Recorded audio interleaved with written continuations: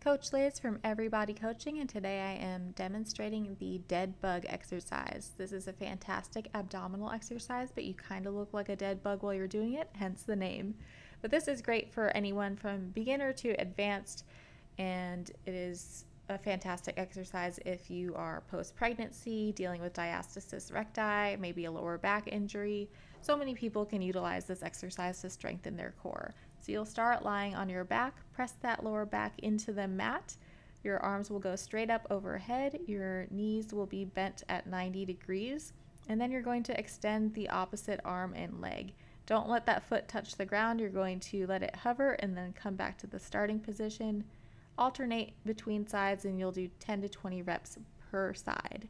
This gets too easy, you can place a foam roller in between your thighs and your forearms. And what you're gonna do is keep your arms steady and alternate extending one leg at a time. This will still be very challenging because you have to keep the foam roller in place.